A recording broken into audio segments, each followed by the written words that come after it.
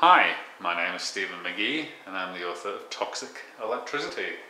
And I'm here today to discuss hysteria. And hysteria was common in the females in the population from about 1850 to the 1900s. And what was going on around that time was the DC electrical system was in use. And that switched out to the AC electrical system in about the 1920s. AC electricity was developed at the very end of the 1800s and was implemented at the early part of the next century. And hysteria died out during that period. But one of the things that the DC electricity system did was it put a lot of radio waves into the environment. And Nikola Tesla actually documents a lot of radio waves in that era. And he actually patented a device to try and extract those radio waves as free energy. So there's no doubt that there's a lot of radio waves around during the time that hysteria was reported in the population.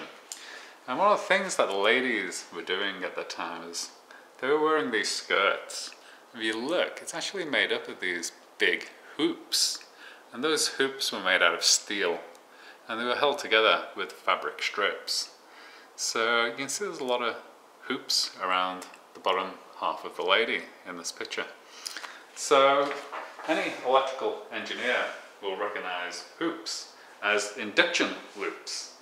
And what happens with loops is when you put them into electromagnetic fields, energy gets induced into them, and then that energy starts running around the hoop, and the hoop will start radiating electromagnetic waves in the local environment. And it appears to be possibly the cause of hysteria in these ladies during that period. So we're back in a period where there's a lot of electromagnetic radiation in the environment.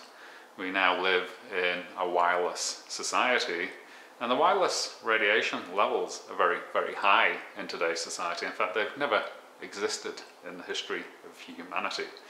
So what we've done is we've purchased an ice maker kit which comes with this copper tubing. Now this copper tubing is hollow and when you're doing radio frequency experiments you want to use hollow conductors where possible because of the skin effect. Most electrical current uh, high frequencies wants to travel around the edge of a conductor and not down the center. So that's why we're using hollow copper tubes in this experiment. And you can see that we've cut the copper tube up into rings and they increase as we get down towards the ground and that matches the design of the dresses of that era.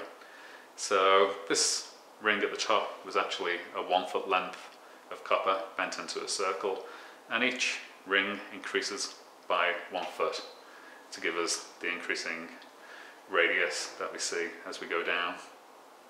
So we have a Dieffenbachia plant, and this Dieffenbachia plant is actually very sensitive to electromagnetic radiation exposures, and it will deform in electromagnetic radiation fields. So what we're going to do is we're going to grow this Dieffenbachia plant inside our model of the hoop skirt, and we're going to see what happens to it.